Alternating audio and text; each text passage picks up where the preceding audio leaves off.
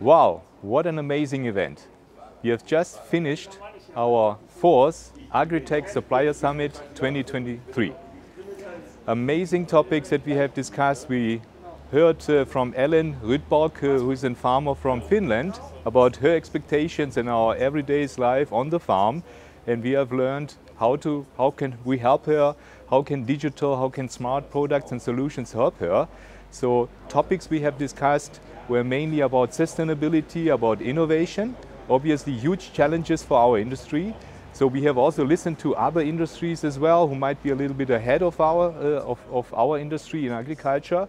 We have learned from industries uh, like automotive, we have uh, heard from industries uh, like uh, uh, um, airlines and so on, how important also for them sustainability is. So it's definitely a platform across, across our industry.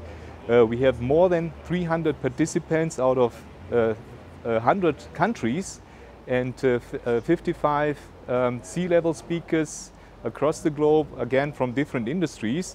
And next year you have to be part of this because we are going to talk about the supply chain of the future and what are the challenges and how can we tackle those challenges, overcome those challenges uh, in the future in our industry be part of that. It's a must attend event and looking forward to meet you and see you in September 2024 again here in Augsburg in this wonderful setting and uh, again a must attend event.